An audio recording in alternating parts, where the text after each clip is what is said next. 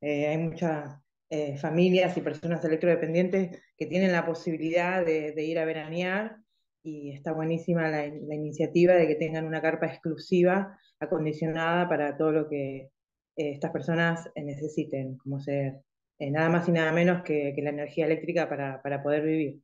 Ya tienen un enchufe en la carpa, eh, tienen un grupo electrógeno también en caso de que se corte la luz, eh, tiene sillas anfibias también por si lo necesitan, así que eh, inmensamente agradecidos y alegres ¿no? por, esta iniciativa que, se implementó. ya en la costa atlántica es el segundo balneario que, está con esta iniciativa porque en su momento, en el 2019, uno de los balnearios de Villa Gesell eh, también cuenta con, una, con carpas exclusivas para personas electrodependientes. Así que eh, de a poquito toda, toda, la costa atlántica y todos los balnearios se van sumando eh, a esta iniciativa. ¿Cómo surge esto? Y surge ante la necesidad de, de nosotros como familia, de, vernos imposibilitados, de poder ir a disfrutar unas vacaciones con nuestros hijos o familiares. A mí me pasó en su momento de, haber ido con Ramiro. Ramiro es eh, un nene electrodependiente de 14 años y bueno, nos encontramos en su momento de que ni siquiera había sillas anfibias como para él se pueda eh, meter en el mar, conocer el agua, dentro de sus posibilidades, obviamente, ¿no? Eh, él está, como muchas otras personas, en silla de ruedas y sabemos que que, la arena es media complicada, y si no lo tenés que alzar a UPA, y la realidad es que eh, hay, hay, adultos, hay adolescentes, hay niños que, que, pesan un montón. Entonces, bueno, la, la, accesibilidad, ¿no? Hablando siempre de la accesibilidad, de la posibilidad de, de poder, eh, nada, darle esa, esa, em, esa posibilidad de, de, de vacacionar.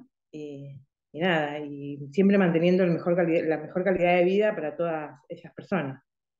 ¿Ya hay un niño marplatense que pudo hacer uso de la carpa?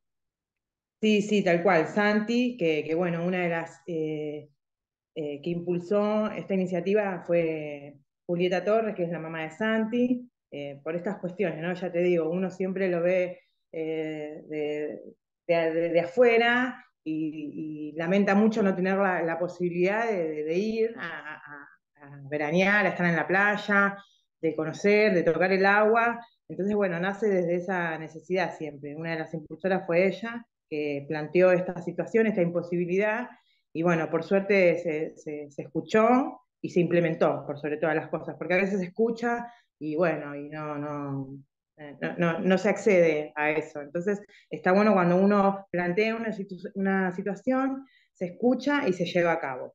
Y en este, en este sentido fue eh, inmediato, porque eh, a principio ya de la temporada ya la carpa ya estaba disponible para, para, Santiago, que es para Santi, que es de Mar del Plata, y, bueno, para todas ahora, disponible para todas aquellas personas que, que quieran ir a, a disfrutar un fin de semana, un día, o lo, que sea necesario a esta, a esta carpa.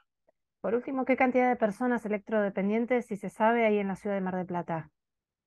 Por lo que tenemos entendido hasta el momento son 100 personas electrodependientes.